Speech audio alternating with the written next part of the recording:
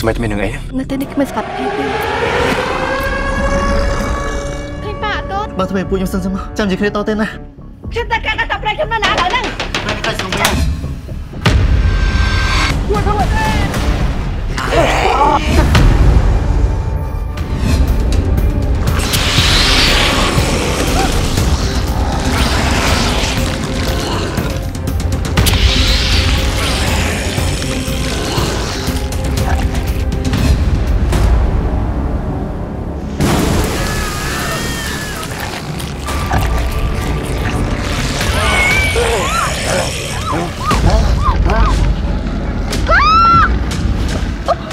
បើលោកចង់ជួបប្រពន្ធលោកលោកត្រូវការពារខ្ញុំ